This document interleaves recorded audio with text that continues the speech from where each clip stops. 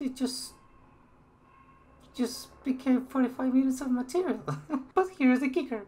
Since it was being recorded on a cassette, the, there, there are two sides of a tape on a cassette, right? So you, and so they ended up making 22 minutes and 28 seconds worth for each side of the tape. So technically, technically, it's a double EP. And I say this because it still appears an EP in the artist page, and it's making me a bit crazy. I mean, since this since CDs came out, those kind of tags became obsolete. You have singles, EPs from one hour, two hours. It doesn't really matter. It's just like a commercial marketing term. If maybe if you want just one song and a bunch of remixes, a single, or if you want one song with some bonus content, it's an EP. Right now, this release has 45 minutes of content, unique content, not like repeated remixes or whatever. So prepare yourself for 45 minutes of content of music, right? I, I, I started to notice that while my front face looks fine, my profile, if I look at it, it looks serious. So if I'm going to look at my window, I'm going to do something like this. You are never going to see my profile ever again. And yeah, this is a record, an album, an EP of Vaporwave. Vaporwave, it is a very, I mean, it is an interesting genre conceptually speaking. Conceptually speaking, it's a genre full of, you know, longing, of melancholy, of nostalgia. okay, the music starts with this feeling, with this feeling of nostalgia. But the thing is that it quickly swaps adds the dance beat. You know, it's a this a beat that is more energetic and it has this part of melancholy but the music gets more busy. It gets busy as another song joins in and then it takes over the track completely. It basically turns it into a more upbeat song. Here I wrote fireworks because I like to write my thoughts as I listen to music the first time and then I organize it, but I'm not sure what I meant with fireworks here. I was listening to the track again to see if I could make sense of it. But yeah, I listened to it and I say, yeah, fireworks. yeah, it's fireworks. So yeah, this is a vapor, vapor or vapor. Fuck. Have I been pronouncing vaporwave wrong all this time? So yeah, this is a vaporwave album, and I feel. So yeah, this is a vaporwave album, but I feel it works more with the blender phonics set of sampling that the vaporwave set of sampling. I don't know if that makes sense, but the second song already has so many sensations charged into it. I feel a purple, a purple, yeah, it's a, it's a purple color because sometimes I you can usually just associate purple with vaporwave. It's an interesting sensation. The sample music seems to be um, New Jack Swing. So sorry, I just I don't know those genres very well, but it's it's nice because the beat is a bit. The beat is a bit, but the melody is wistful and melancholic, and the songs switch seamlessly between melancholy and happiness. It's a very deep exploration of memory.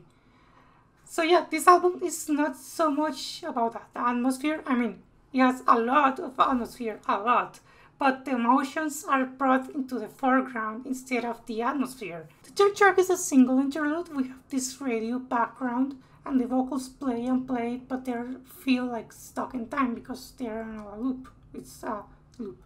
While the beat that accompanies the vocals feels ethereal and calming and happy. So it's really interesting how this single loop combines passion, you know, of the vocals with the more chill and ethereal parts of the music. you you could say it's like a more optimistic memory, a memory about something passionate you did long ago, and then you remember it fondly, and it makes you smile. Okay, maybe I'm trying to add so much of my interpretation into the songs, but what I'm trying to say is that this track took me strongly. I felt like a deep connection into it. Uh, it was like, oh, you damn it. And the fourth track is also a loop.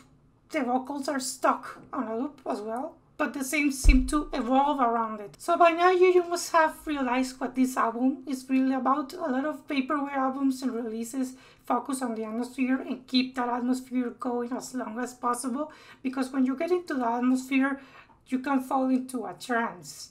That but that that but this album is not like that.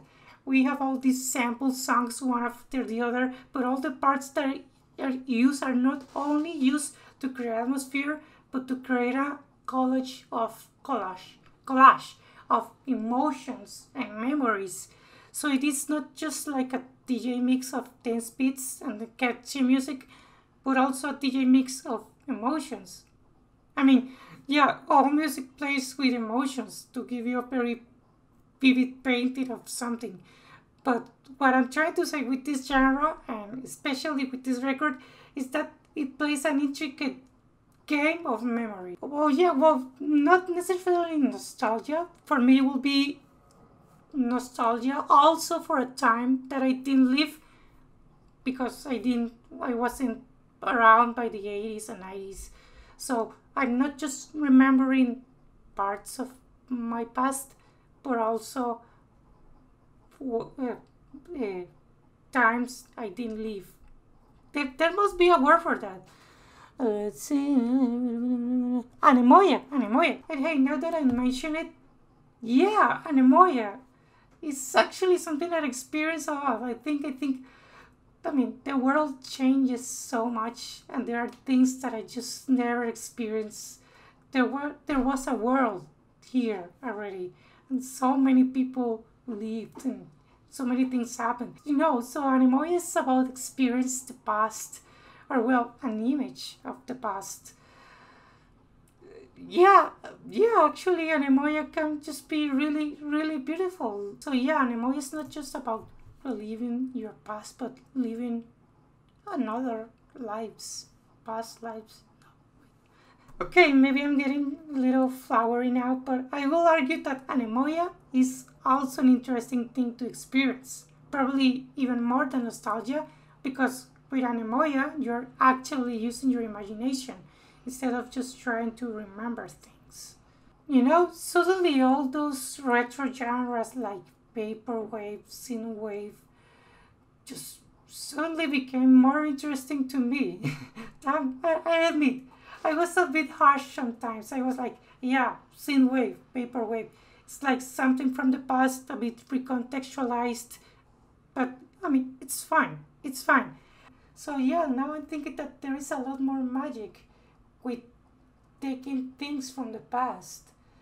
That there is a lot of more worlds that you can create with images of the past.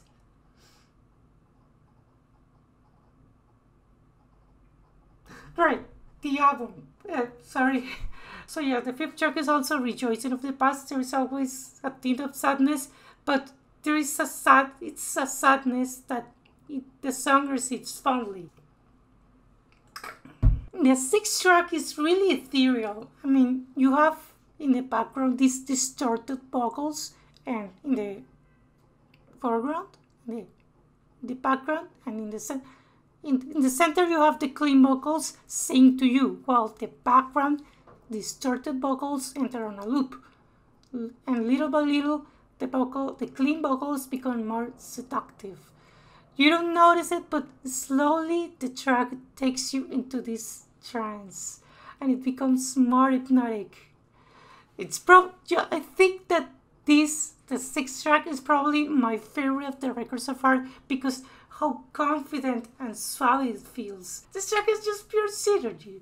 It's so suave, so confident. Just I love it. The seventh track is a bit it's a bit of a change of pace, a bit of change of sound. Sounds like either AOR or glam rock. And it's actually very refreshing. It's a very energetic song uh, that still feels melancholic. The emotions of music like AOR can be really magic as well because it's a very anthemic genre. It's an anthemic genre, but it's also a very melancholic genre. What this album does with those songs is that ethereal, oppressive sound, and the whole song becomes dreamy. I said that I usually associate Vaporwave with purple, but this song particularly particularly feels like it had a lot of colors. The A track is also one of the most colorful songs of the record. It has all these little sounds, uh, just details, while being really energetic. It feels like a party song. Yeah, yeah, this is a party song, but a party song built by the pink fog of memory. I said it was colorful, but it's picked by a pink fog, the pink fog of memory. Think about a party song, but a party song that you are remembering or a party song about a party you had long ago. That that's how the A track feels. It feels to me. I don't know. It just it's it's, it's, it's, it's a very interesting. This record is neat. This record is neat. The ninth track, ninth, ninth, ninth, ninth. It's kind of like a love song and the production is just beautiful. Yeah, I mean, it's just beautiful. This music is not just stereo, but I like I like music that you can feel and each extreme of your ear instead of just inside your head. I mean, even now, more that I'm using in-ear monitors, I feel more things inside my head. If there is something I love, it's a really abrasive, wild sound and it's a wild sound that you can feel extreme to extreme. Just, there, there are some sounds that I feel here like in all the album in all the album is like that. It's just fantastic. The song itself it's probably also an AOR song, probably. It feels anthemic and emotional. But the production is ethereal and soothing. So even if the original song was rock, uh, you probably won't recognize it because it's just reconstructed beautifully to this synth pop psychedelic sound. Track 10, track 10 has one single idea, it's also a short track, but it has one single idea that hits really deep. It's a loop and its most melancholic, but it feels like that moment when the person realizes something about their past. It's I think they're saying it is not too late to turn without. Uh, yeah, I know I cannot sing. No need to remind me. but yeah, it feels like um one of those melancholic epiphanies. Uh, yeah, because you're realizing something, or maybe it's a memory about you realizing something. It's it's a it's a, it's a puzzle, a game of memory. With memory, sometimes the past is the present, the future is the past. It's just, it's time, you know, it's time to like, like, wow, like, wow. This song has a bit of healing. It, it just it hits deep. It hits deep. The 11th track starts with this post-punkish, punkish big music, kind of epic song guitar, like there, there is no rhythm. Isn't, isn't this the, the only song that focuses on atmosphere? What I'm saying is that it doesn't have explicit rhythm and it feels very oniric.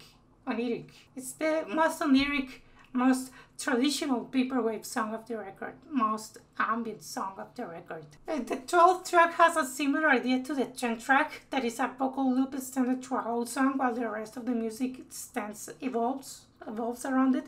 But while the 10th track is about realization. The 12th track is more about the resolve in the melancholy.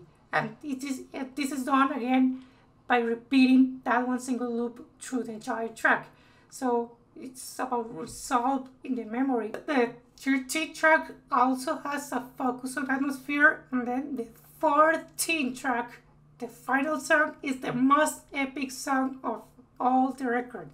It's one of those huge, epic big AOR songs and it's looping the most striking parts of the song. Like it, they just know what are the most striking parts of the original song and they keep them going and going and going. And even when the song is filled with this melancholy and nostalgia and anemoia, it just turns into this massive celebration. The samples and the loops just hitting the most emotional beats of the originals. is just keep repeating and repeating and repeating. It just feels very intense, intense. Eh, and radio ads play over the music and ends the dream you had while listening to the radio. And the album finishes. So, wow, just wow. I mean, what what an experience! What an experience, man! It just it hits hard. It hits hard. This album is just not an adventure. This is not just an adventure It's a complete, a cathartic, healing experience. Thank you. Just thank you. Thank you. It was a, it was a beautiful experience. I really like that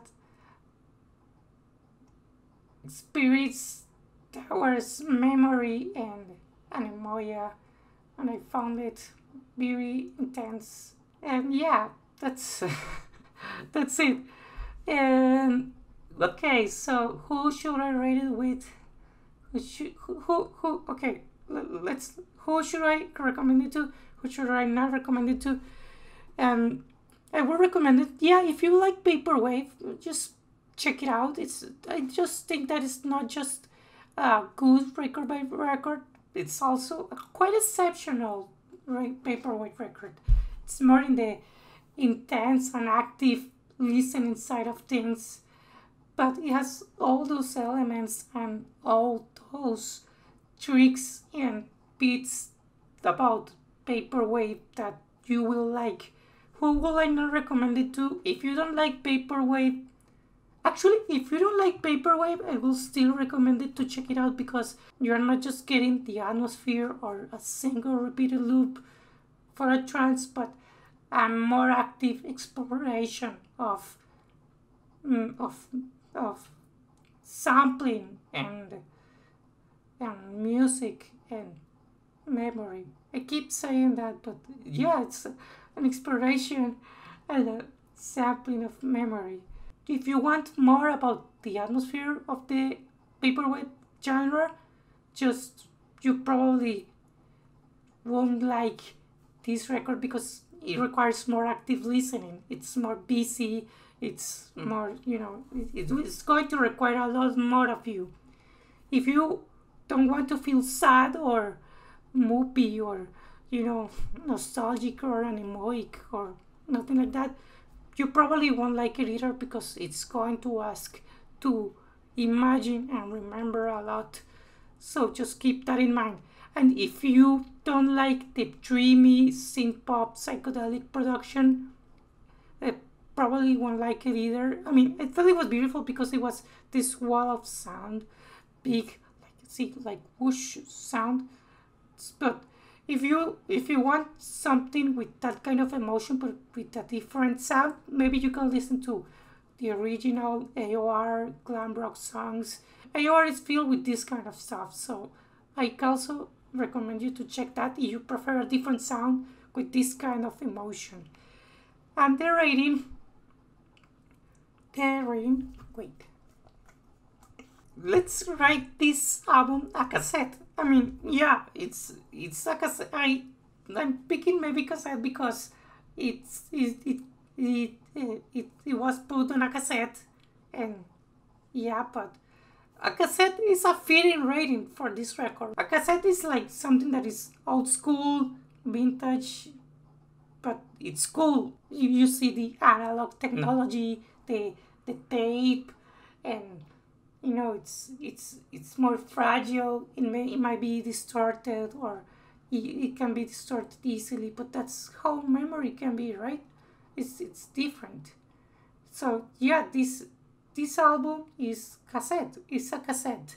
Yeah, so yeah, this is going to be my rating for this record. Cassette. Cassette. And yeah, just what a blast. What a blast. I I actually I started to rethink a lot more about Vaporwave.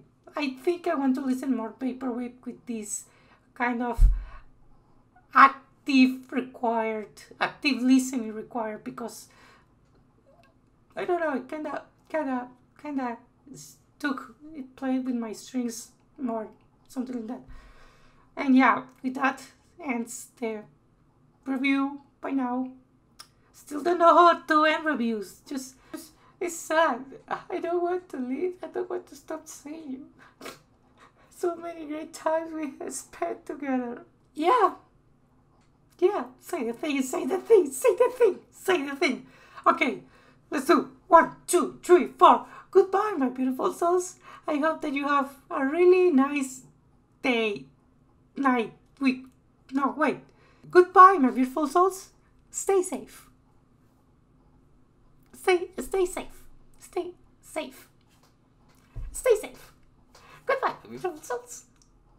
Stay safe.